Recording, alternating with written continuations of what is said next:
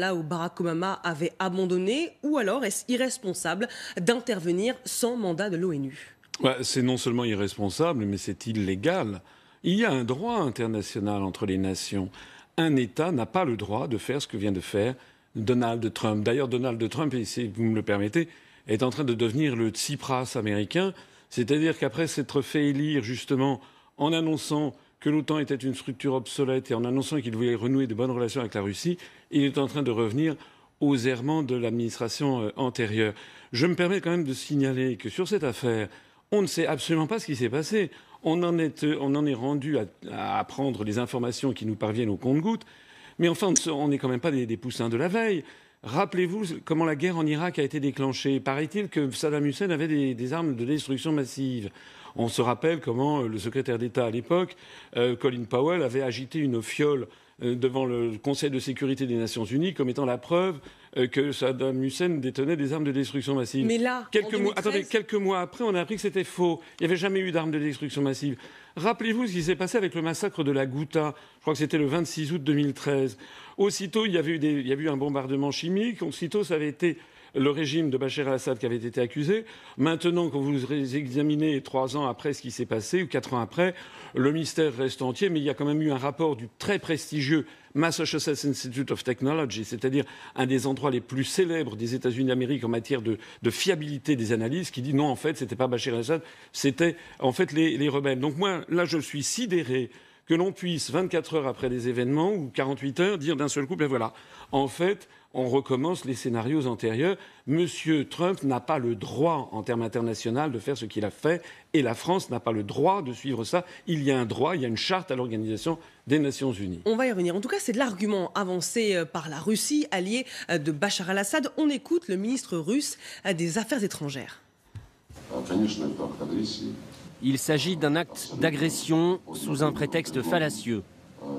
Toute la situation fait penser à l'année 2003, quand les États-Unis, la Grande-Bretagne, avec leurs alliés, ont fait irruption en Irak sans l'assentiment du Conseil de sécurité et en violation flagrante du droit international.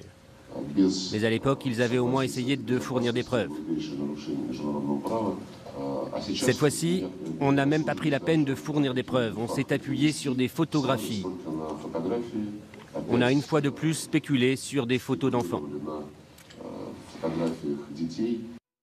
Vous l'avez rappelé, hein, depuis mardi soir, l'enquête n'a pas encore eu lieu, mais déjà en 2013, il y avait eu euh, des soupçons d'utilisation d'armes chimiques par le régime syrien et des observateurs internationaux avaient euh, constaté que des armes chimiques avaient bien été utilisées. Donc est-ce qu'on doit laisser le peuple syrien pris en étau entre Bachar al-Assad et Daesh? Non mais euh, je rappelle encore une fois que les, affirmations qui avaient eu lieu en 2013 ont été ensuite démenties et que actuellement le mystère reste entier, mais que les meilleurs spécialistes doutent de plus en plus que ce fut le régime de Bachar el-Assad qui avait procédé à ça. Je rappelle aussi quelque chose, c'est qu'il y a quand même l'Organisation pour l'interdiction des armes chimiques, qui est une, filiale de l'ONU, qui a vérifié que le régime syrien avait détruit toutes ses armes chimiques quand même. Donc, comment dirais-je, l'analyse faite par la Russie selon laquelle ce bombardement par mégarde aurait, aurait frappé un, hangar détenant où il y aurait eu des armes chimiques détenues par les rebelles justement de Daesh ou d'Al-Nosra, c'est une information qu'il faut quand même prendre en considération. Vous faites confiance au régime syrien Non, je ne fais pas. Écoutez, c'est pas moi qui fais confiance. Ça a été validé par l'ensemble des experts de l'ONU. Donc ça a été validé. Par ailleurs, il y a quelque chose que je voudrais dire. C'est qu'il n'y a pas que la Russie qui proteste c'est que depuis, sur ces affaires syriennes, c'est d'arriver six fois au Conseil de sécurité, la Chine a également opposé son veto, comme la Russie, à l'ensemble des, des opérations. C'est-à-dire que contrairement à ce que l'on veut faire croire aux Français, la grande majorité des États du monde, en réalité, continuent à reconnaître Bachar el-Assad comme étant le président des Syriens. C'est ça la réalité. Il faut tenir compte du droit international. Encore un mot. Il y a aussi une opération de politique intérieure américaine, je pense, parce que Donald Trump a annoncé ce bombardement au moment même où il recevait en Floride le président chinois Xi Jinping. Donc c'est aussi, à mon avis, une façon de montrer ses muscles face à la grande puissance chinoise montante et l'inquiétude des États-Unis de voir se constituer un bloc entre la Russie et la Chine pour éventuellement euh, torpiller leur influence mondiale. Alors François Hollande, lui, veut poursuivre la réponse américaine au niveau international. Il va réunir un conseil de défense ce soir. On l'écoute et on vous fait réagir après.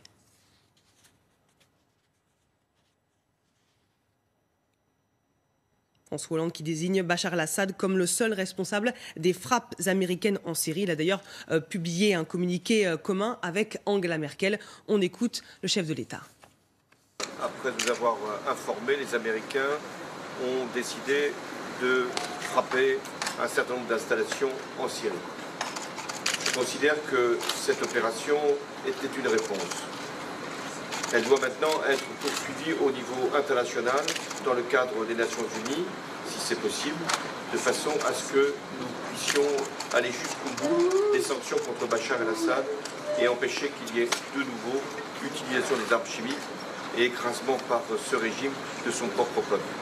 On a compris hein, que François Hollande veut agir dans le cadre euh, d'un mandat de l'ONU hein, si euh, les soupçons euh, sur l'utilisation d'armes chimiques sont avérés. Est-ce que la position de la France est juste? Mais non, écoutez, excusez-moi, moi ce que je viens d'entendre, c'est que M. Hollande se grange. Vous savez, la France est devenue un satellite de Washington. Euh, comme l'Allemagne, exactement comme on disait de la Tchécoslovaquie ou de la Pologne, qui étaient des, satellites de Moscou du temps de l'Union soviétique. Je suis désolé, Monsieur Hollande vient de dire des choses absolument scandaleuses dans la bouche d'un chef de l'État français, puisqu'il approuve une agression contre un État souverain, ce qui, j'insiste, est contraire au droit international. Et il incrimine tout de suite Bachir el-Assad dans, dans, la responsabilité de, cette, de ce bombardement. Encore une fois, on, on, ne, on ne, sait rien. Je voudrais d'ailleurs dire à ce propos. Que, euh, mais de toute façon, il n'aura pas, pas, le soutien de l'ONU. Il y aura de toute façon la Russie et la Chine qui vont opposer leur veto. Ils l'ont déjà dit. Donc de toute façon, M. Hollande parle pour ne rien dire. Il agite l'Organisation des Nations Unies, mais en fait, il est en faveur d'actions unilatérales dirigées par Washington. C'est ça la réalité. La France n'est plus une puissance souveraine qui mène, comme je souhaite, moi, à ce que devrait faire la France, c'est d'avoir la même position que la Chine, en définitive, qui est très prudente et qui dit on n'a pas le droit de faire ce que viennent de faire les États-Unis. Il faut une enquête indépendante de l'Organisation des Nations Unies. Pour l'instant, on ne sait pas ce qui s'est passé. Et de toute façon, un État n'a pas le droit de se faire justice soi-même. C'est comme, comme, un, comme un particulier. Un particulier en France n'a pas le droit de se faire justice soi-même. Si vous étiez élu président de la République, donc vous refuseriez d'intervenir en Syrie, même s'il y a euh, des réfugiés massivement qui quittent leur pays parce qu'ils accusent Bachar al-Assad de gazer son peuple. Mais ça, c'est euh, vous qui le dites. Il y en a certains. C'est les réfugiés syriens qui le disent. Oui, il y en a quelques-uns qui le disent. Mais enfin, la grande majorité des Syriens semble-t-il, sont plutôt du côté de Bachir el-Assad. Moi, ce que je vois, c'est que vous sur quels éléments vous appuyez pour savoir mais que parce que parce, derrière parce que parce que parce que lorsqu'un peuple veut se débarrasser d'un président de la République, eh bien, il le sent, on le voit, M. Bachir el-Assad ne, tiendrait pas depuis plusieurs années s'il n'avait pas le soutien d'une certaine partie de sa population. La situation est complexe. Vous savez qu'il y a Daesh d'un côté et le régime je n'ai pas, Je n'ai pas dit que la situation n'était pas complexe. Voilà, moi, ce que je fais, c'est que vous savez ce que disait Charles de Gaulle dans les Mémoires de guerre, vers l'Orient compliqué, je partais avec des idées simples. Les idées simples, c'est faire respecter le droit international de toute façon. Et puis il y a une autre idée simple, c'est que nous sommes peut-être au bord d'une troisième guerre mondiale. Quand je vois des gens comme M. Macron, qui est d'une folle incompétence, d'une folle irresponsabilité, qui dit qu'il faut faire une intervention militaire en Syrie, M. Macron ne se rend pas compte de ce qu'il y a en face. En face, où il y a la Russie, qui est quand même la deuxième puissance nucléaire mondiale. Dans le cadre de l'ONU, avec l'accord de la Russie. Il ne dit pas qu'il faut partir sans l'accord de la Écoutez, Russie. ce n'est pas ce que j'ai vu, mais ce n'est pas ce que j'ai vu. Il le dit dans le cadre de l'ONU, c'est-à-dire qu'il ne faut pas qu'il y ait Mais encore une fois, ça, en tout cas, il a, il, a, il a, pris note, paraît-il, du bombardement. M. Macron approuve totalement les bombardements faits par, faits par les États-Unis. Donc M. Macron, qui n'a d'ailleurs aucune expérience internationale, et c'est quelqu'un qui a 38 ans, qui n'a pas d'expérience internationale. Il est là en train de dire aux Français, la fleur au fusil, on va aller intervenir sur une information qui est sortie d'un chapeau. D'ailleurs, il y a aussi autre chose que je voudrais dire. Pourquoi est-ce qu'on parle toujours de la Syrie et qu'on ne parle jamais de ce qui se passe au Yémen ou de ce qui se passe au Congo, où il y a des centaines, des milliers de morts tous les jours qui y sont là, et jamais personne n'en parle dans les grands médias occidentaux? Ça veut donc dire qu'il y a des intérêts puissants derrière l'affaire syrienne et que ces mêmes intérêts n'ont pas intérêt à ce que l'on parle de ce qui se passe à l'est du Congo ou, en, ou au Yémen. Alors écoutez euh, ces réactions politiques, vous, vous évoquiez euh, Emmanuel Macron, il y a évidemment ceux qui sont partagés, euh, qui émettent des réserves sur l'action de Donald Trump sans concertation avec l'ONU, et ceux qui soutiennent le président américain. Il m'apparaît étonnant d'agir avant d'avoir le résultat d'une enquête internationale indépendante sur ce sujet. C'est vrai que euh, la frappe américaine euh, rentre quand même un peu en contradiction avec euh, les engagements qu'avait pu prendre Donald Trump, hein, lorsqu'il a dit que les États-Unis n'avaient pas vocation à être le gendarme du monde et qu'il voulait rompre avec l'ingérence qui avait été de mise lors des dernières administrations américaines. Bon. Je prends note de l'intervention américaine et de cette réaction. Mon souhait pour ma part, c'est qu'il y ait véritablement une action coordonnée sur le plan international en représailles au régime de Bachar el-Assad et en tout cas aux crimes qui ont été commis. je ne sais pas si aujourd'hui euh, il s'agit d'envoyer des, militaires sur le terrain. Et de, je, pense surtout qu'il faut trouver une solution politique. Il n'y a pas de, solution militaire. C'est quoi la solution euh, bah, La solution politique, c'est qu'on euh, en finisse avec le régime de Bachar, el-Assad par des négociations qui intègrent toutes les parties au, conflit, dont l'opposition syrienne, qui n'est pas une opposition terroriste. Est-ce que c'est parfaitement la Russie? Est-ce que c'est parfaitement Bachar el-Assad. Quelle solution politique si on n'intervient pas sur le terrain? Alors je vois, je viens de réécouter M. Macron, il n'a pas du tout parlé de l'ONU, il parle d'une coalition internationale, ça veut dire États-Unis, Royaume-Uni, France, donc c'est bien. Il non, non, non, il... a dit clairement, en tout cas hier. non, écoutez, ça, je ne sais pas si vous êtes la porte-parole de, de non, mais je Macron. Redis, je redis les faits, je redis les faits. Mais moi, je n'ai pas vu, je n'ai pas entendu que M. Macron ait parlé de l'ONU. Moi, ce que je dis, c'est que, et je suis le seul candidat à le dire, la France doit d'abord sortir de l'Union européenne et de l'OTAN, puisque l'Union européenne, par l'article 42, alors je sais que les gens rient quand je cite les articles. Mais figurez-vous que c'est important qu'un président de la République sache de quoi il parle, n'est-ce pas? Est-ce que vous confiez les manettes d'un avion à quelqu'un qui ne sait pas piloter un avion? Moi, je sais de quoi je parle. J'ai une grande expérience au niveau international. J'ai été pendant plus de deux ans au cabinet du ministre des Affaires étrangères.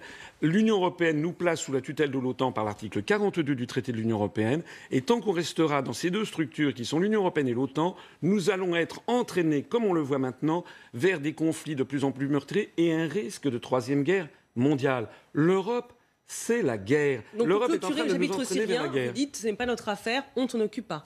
Je ne dis pas que ça n'est pas notre affaire. Je dis de toute façon que la France a été complètement discréditée dans cette, dans cette opération, alors qu'elle avait un jeu à jouer. Si la France avait joué le jeu habituel qu'elle a, avec son influence justement en Syrie, au Liban et au Moyen-Orient, c'est-à-dire en se gardant de prendre parti pour les uns ou pour les autres, elle aurait pu être au contraire une puissance d'équilibre qui aurait, à mon avis, pu faire apparaître un message de paix et une solution pacifique et politique. On en est désormais très loin. La France a été mise hors jeu par notre alignement complet derrière Washington.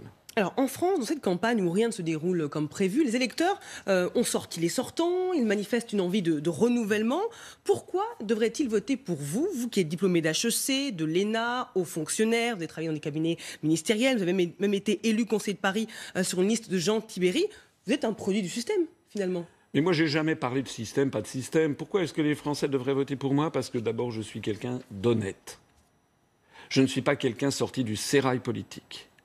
Je ne suis pas quelqu'un qui suis financé par des grandes puissances d'argent. Je ne suis pas quelqu'un qui euh, lance des, formules marketing. Moi, je connais mes dossiers. Je suis quelqu'un de compétent. Et par ailleurs, j'insiste au cours de cette élection présidentielle sur ce qu'est le président de la République. Je ne confonds pas le président de la République avec le Premier ministre. Le président de la République, en vertu de l'article 5 de la Constitution, premièrement, doit veiller au respect de la Constitution. C'est ce que je fais justement en rappelant sans cesse les articles. Deuxièmement, le président de la République est le garant de l'indépendance nationale. Moi, j'aimerais savoir comment les autres candidats affirment être le garant de l'indépendance nationale. Quand je vois, par exemple, que M. Mélenchon, la réaction de M. Mélenchon sur cette affaire syrienne, elle est comme d'habitude, elle est chèvre-chou. C'est un oxymore. En fait, M. Mélenchon, s'il était élu, serait le Tsipras français, comme d'ailleurs Donald Trump est le Tsipras américain. Moi, les choses avec moi sont toujours claires et nettes. Et vous savez, j'ai fait là une série de meetings dans le sud de la France. Hier à Bordeaux, il y avait 1000 personnes. La veille à Toulouse, il y avait 1100 personnes. L'avant-veille, enfin trois jours avant à Montpellier, il y avait 1300 personnes. Et je suis là, je suis revenu en train, dans, le métro, dans le train, dans le tramway à Bordeaux. Les gens viennent me voir, me prennent en photo, ils me disent c'est vous qui allez être vous la surprise. Êtes, vous êtes très clair hein, sur euh, votre volonté de sortir l'Union européenne euh, et de la zone euro, c'est votre mesure phare. Mais à l'heure où trois quarts des Français sont encore opposés à une sortie de l'Union européenne, quels arguments vous avancez pour les convaincre? Bah D'abord, je ne sais pas si ce sondage est vrai. Voilà, moi, vous savez, les sondages, il y a des sondages qui me donnent à 0,0 Bon, les sondages officiels, mais quand on va voir les sondages me concernant sur Internet, excusez-moi, mais je crève tous les plafonds. Donc il y a quand même un problème. Alors les médias disent oui, c'est parce qu'il fait agir ces cybermilitants. Et alors les autres, ils n'ont pas de cybermilitants? Paraît-il que M. Macron ou M. Mélenchon sont des champions. M. Macron de la modernité, M. Mélenchon serait un champion d'Internet. Pourquoi ils n'en voient pas? Moi, ce que je vois, c'est Sur le fond, mais il y a quand même des gens qui sont réticents. Eh bien, mais, vous leur dites quoi? Eh bien, si moi j'entre, euh, si je dis ce que je dis, et si une majorité des Français n'est pas d'accord, ça prouve quoi? Ça prouve que je suis quelqu'un d'honnête. Ça prouve que je ne suis pas un politicien véreux qui est là en train de surfer sur l'opinion publique. Je suis donc le contraire d'un populiste. Si je dis ce qu'il y a, et même si une majorité des Français en effet est contre, eh c'est justement l'objectif d'une campagne électorale que d'expliquer aux Français pourquoi nous devons sortir en urgence. Expliquez-nous, justement. On doit sortir en urgence de l'Union européenne, de l'euro, pour d'abord rendre aux Français leur démocratie. Sortir de l'euro parce que l'euro est en train de s'effondrer. Malheureusement, on n'a jamais le temps d'expliquer. Je renvoie les, les téléspectateurs à notre site UPR Sortir de l'Union européenne parce que, quel que soit le président de la République qui sera élu, au mois de mai, sauf si c'est moi, puisque moi je propose de sortir de l'Union européenne, tous les autres proposent de renégocier les traités. Vous, c'est radical. Voilà. moi, je fais l'article 50, c'est pas radical. C'est comme Mme Theresa May. Elle, a lancé la procédure de l'article 50. Ça n'a strictement rien ni de, radical, ni d'extrémiste. Elle a été obligée de le faire valider par le Parlement britannique. Oui, mais parce que. Eh, eh, mais ça, ce, sont les procédures, euh, ce sont les procédures britanniques. Moi, si je suis élu, je l'aurais été sur un mandat extrêmement clair. C'est le moins qu'on puisse dire. Vous l'avez dit vous-même. Donc, je ne vais pas ensuite faire un référendum pour demander aux Français est-ce que vous êtes d'accord pour que je mette en œuvre le programme sur lequel je viens d'être élu? Mais si c'est quelqu'un d'autre que moi qui est élu, on va avoir la politique du rapport des grandes orientations de politique économique qui est fixée tous les ans par la Commission européenne en vertu de l'article 121 du traité. J'invite tous les téléspectateurs à aller sur notre site internet, ils verront une fenêtre pop-up ils découvriront à quelle sauce nous allons être mangés. C'est la raison pour laquelle, vous savez, les Français sont furieux, parce qu'ils votent à droite, ils votent à gauche, ils ont toujours la même politique depuis 25 ans. Ils sont furieux de ça, ils ne comprennent pas. Mais Moi, je suis le seul qui leur explique pourquoi. Concrètement, que répondez-vous à des patrons de PME qui se disent, si on sort de la zone euro, eh bien, la monnaie va être dévaluée et ça va menacer nos exportations? Alors, je réponds que, selon le Fonds monétaire international, Natixis, ING, etc., le nouveau franc devrait perdre à peu près 6 à 10% de sa valeur par rapport au cours pivot de l'euro vis-à-vis du dollar. Bon, ça c'est un. Je signale que l'euro a perdu 25% de sa valeur par rapport au dollar au cours des trois dernières années. Deuxièmement, ça va au contraire dynamiser les exportations si le franc est un petit peu déprécié. Ça va rétablir la compétitivité externe de notre économie. Ça va faire plonger de 1 à 2 le nombre de chômeurs, millions, le nombre de chômeurs. C'est pas moi qui le dis, c'est une étude qui avait été publiée. Les autres pays remettront aussi des barrières douanières. Mais euh, ça, nous n'en savons rien. Ça sera justement l'objet des négociations. Mais prenez un exemple, la Suisse. La Suisse, n'est pas un pays extrémiste. C'est un pays qui n'est ni dans l'Union européenne ni dans l'euro. Est-ce que la Suisse n'exporte pas est-ce qu'on ne voit pas des produits Nestlé partout? Est-ce que la Suisse n'exporte pas des produits chimiques, des produits d'horlogerie, des produits du, comment dirais-je, du verre, etc. Des produits agroalimentaires. C'est une très grande puissance industrielle qui exporte et qui importe. Il y a effectivement un tarif extérieur qui est peut-être appliqué à certains produits suisses. Le tarif extérieur commun de l'Union européenne, c'est 3% de la valeur. Imaginez que nous soyons obligés de rétablir 3% de droits de douane vis-à-vis, par exemple, de l'Allemagne. Qu'est-ce que ça changera si notre franc se déprécie de 10% Les Allemands, vous savez, ils vont continuer à acheter des produits français. Le monde entier va continuer à vouloir acheter du champagne, des parfums. Et sur la question de la dette qui est détenue à 60% par des investisseurs étrangers, est-ce qu'il n'y a pas un risque qu'on paye plus cher et que ça touche le pouvoir d'achat des Français? Peu importe qui détient la dette, ce qui importe, c'est quel est le droit qui régit la dette. Or, 97% de, la dette publique française a été rédigé sous le, droit national, sous le droit français. Et 99%, 98,5% de la dette des particuliers, ça veut dire quoi? Ça veut dire qu'il y a un grand principe international qui s'appelle la lex monetae. Ça veut dire que les dettes seront remboursées dans la monnaie en cours au moment du remboursement, c'est-à-dire le franc. Contrairement à une légende entretenue par la propagande, si nous sortons de l'euro, eh bien, nous, aurons un nouveau franc et les dettes seront remboursées au franc au taux de change officiel. Il y a un franc qui risque d'être plus faible. Mais non, mais ça sera. Mais ça, si vous voulez, regardez ce qui s'est passé au moment du passage du marque à l'euro. Il y avait des investisseurs étrangers qui détenaient des créances sur le gouvernement, sur l'État allemand. Ils avaient, c'était des créances en marque. Lorsque l'Allemagne est passée du marque à l'euro, il y a un certain nombre d'investisseurs, ça ne leur a pas fait très plaisir parce qu'ils ont estimé que l'euro intégrant les pays du Sud serait sans doute une monnaie plus faible que le marque ce qui d'ailleurs est vrai, eh bien, ils ont quand même été obligés de subir la lex monetae et personne n'a protesté. D'ailleurs, regardez ce qui se passe sur les marchés internationaux. Lorsque l'Allemagne fait des emprunts, elle obtient des taux d'intérêt qui sont plus faibles que ceux qui sont facturés à la France, et ceux qui sont facturés à la France sont beaucoup plus faibles que ceux qui sont facturés à la Grèce. Pourquoi cette différence de taux d'intérêt? La réalité, c'est que les marchés financiers internationaux, lorsqu'ils fixent des taux d'intérêt pour les, trésors publics respectifs, ils intègrent l'hypothèse que l'euro explose et donc ils font payer une prime de risque supplémentaire à la Grèce ou à la France. Si ce risque se, révèle, ils n'auront rien à dire puisqu'ils auront joué, et puis voilà. Si vous êtes élu, avec qui vous gouvernez? Parce qu'il faut bien une majorité à l'Assemblée pour appliquer euh, sa politique. Ben, notez bien que c'est la même question que vous pourriez poser à Mme Le Pen. Mais on la pose à Emmanuel Macron, à Marine Le Pen très régulièrement. Voilà, donc moi, si je suis élu, je vais avoir, ça sera un bouleversement de la scène politique, c'est le moins que l'on puisse dire. Déjà, le premier bouleversement, il va avoir lieu le soir du 23 avril, le soir du premier tour, parce que moi, je suis très confiant. Vous savez, quand je réunis des milliers de personnes dans les, dans les, dans les, dans les meetings, les gens euh, sourient, mais les gens rient même lorsque je leur dis que nous sommes crédités de 0%, alors qu'on a fait près de 1% il y a un an et demi, alors qu'on était beaucoup plus petit et que je n'étais pas connu. Donc je pense que je vais faire un score tout à fait significatif. Et si d'aventure je suis au deuxième tour, eh bien, vous savez, il va y avoir à ce moment-là des quantités d'offres et de ralliements. Mais je voudrais dire quelque chose. C'est que je ne suis pas seul on a dépassé les 23 200 adhérents et que nous avons de nombreux talents maintenant à l'Union populaire républicaine.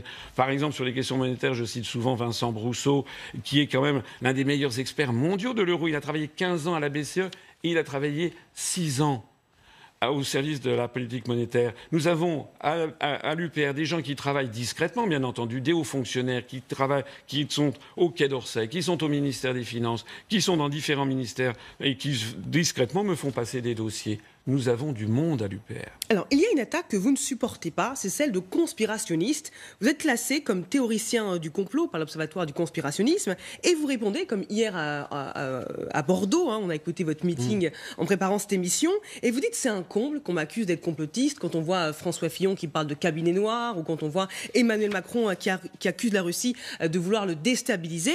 Mais certaines de vos déclarations peuvent surprendre. On va écouter euh, ce que vous disiez au 20h de TF1. Voici votre collègue de BFM qui nous explique que le FBI a aidé des musulmans à commettre des attentats. C'est pas moi, c'est BFM. Moi, on me traite de complotisme. Mais en fait, moi, je cherche ça, c'est le journal Le Monde. Le FBI mis en cause dans l'organisation d'attentats par des Américains musulmans. Donc Boko Haram, c'est la CIA, ce sont les services secrets américains, ainsi que Daesh et le, marathon Écoutez, Je ne vais pas vous sortir ici tous mes documents. Non, c'était votre credo. je voulais juste savoir si vous le pensiez. Non, mais ça n'est pas un credo, euh, monsieur. Ça n'est pas un credo. Est-ce que vous pensez que les États-Unis financent réellement Daesh? Mais encore une fois, je vais répéter exactement ce que je disais sur TF1 n'est pas un credo, ce sont des informations que vous donnez vous-même, que donnent vos collègues. C'est quand même ça extraordinaire. L'observatoire de Conspiracy Watch, j'invite les téléspectateurs qui s'y intéressent à aller regarder qui est derrière. C'est la nébuleuse de Mme Caroline Fourest, etc., qui d'ailleurs a été interdite d'antenne pour ses mensonges avérés par, par M. Ruquier. Je ne l'ai pas inventé. Nous avons effectivement une petite structure qui est là pour balancer des fausses informations. Mais soyons sérieux, effectivement. Euh, M. Fillon a été traité de complotiste par M. Bayrou. M. Macron dit que en fait, c'est Vladimir Poutine qui manipule l'élection présidentielle en France. Qu'est-ce que c'est que cette histoire? Moi, j'en ai assez de ces histoires de complotisme, parce que ça veut dire que c'est maintenant une espèce de chasse aux sorcières, un macartisme, qui, prétendrait interdire aux Français ou à tout autre peuple de réfléchir par eux-mêmes et de douter. Ce qui a fait la, vous savez ce qui a fait la grandeur de l'Occident? Dans la pensée, dans l'esprit de la pensée, dans la philosophie universelle, la grandeur de l'Europe pour le coup en matière de pensée, c'est justement la faculté de douter, la faculté de remettre en cause au crible de sa raison personnelle tous les dogmes de son époque. Donc sans parler de complot, est-ce que vous pensez réellement que ce sont les États-Unis qui ont intérêt à financer l'État islamique? Écoutez, c'est pas moi qui l'ai dit, c'est Donald Trump. C'est Donald Trump qui, pendant sa campagne, avait dit que c'était Obama et Mme Clinton qui avaient financé. On peut douter aussi de sa parole. Mais on peut douter, mais, on peut douter, bien entendu, on peut douter de tout. Moi, ce que je sais, c'est qu'il faut bien comprendre qu'en Syrie et Daesh, ils ont des des armes américaines et britanniques. Elles ont été découvertes notamment lorsque Alep a été libéré de Daesh. Eh bien, ces armes, elles viennent d'où? Elles sont financées par qui? Voilà, ce sont les bonnes informations. Et vous savez, les Français ne s'y trompent pas. Moi, je suis en permanence abordé dans la rue par des gens qui me disent Monsieur, vous avez raison, il y en a marre qu'on nous force à gober des bobards. Vous avez raison, il faut continuer à faire ce que vous faites. Vous êtes un homme droit, intègre et qui dit la vérité. Alors, une image, dans vos meetings, il n'y a évidemment pas de drapeau européen parce que vous voulez sortir de l'Union européenne, il y a le drapeau français, et puis il y a également ceux de l'ONU et de l'Organisation internationale de la francophonie. Euh, pourquoi? Alors, ben, c'est très, je vous remercie de souligner ça. Tous les candidats ou presque tous, parlent devant le drapeau français et le drapeau de l'Union européenne, qui est en fait l'ancienne héraldique du Saint-Empire romain germanique bleu aux étoiles d'or. C'est en fait un drapeau de soumission à un pouvoir qui n'est pas celui des citoyens français. Madame Le Pen, quand elle parle, elle parle uniquement devant le drapeau bleu, blanc, rouge c'est un système de, un signe, un symbole de renfermement sur soi-même. Moi, je parle devant le drapeau de la République française, devant le drapeau de la Révolution française, mais aussi devant le drapeau de l'Organisation des Nations Unies, parce que je le disais tout à l'heure, vous savez, je suis très très logique. Moi, je veux rétablir le droit international, je veux que la France soit en bon terme avec l'ensemble des pays du monde. Et pourquoi je veux sortir de l'Union européenne? Parce que si vous y réfléchissez en profondeur, en fait, c'est un apartheid planétaire qui ne dit pas son nom. En fait, la construction européenne est une vieille idée complètement anachronique. Dans le monde d'aujourd'hui, il y a des, nous devons avoir des relations avec le monde entier, avec la Russie, la Chine, le Brésil, l'Inde, l'Afrique du Sud, etc., etc., et l'organisation de la francophonie. Parce que je dis aux Français, oui, parce que je dis aux Français que le français, la langue française, est en très forte croissance. C'est un formidable message d'espoir. Notre avenir passe très largement avec les pays de la francophonie, notamment les pays d'Afrique. Vous savez, il y aura 760 millions de francophones en 2060. La langue française sera la troisième langue la plus parlée au monde. Et ce sera pour nous un formidable moyen d'exister au XXIe siècle. Le message est passé. Merci François Asselineau d'avoir été notre invité sur LCI. Restez avec nous, l'info continue.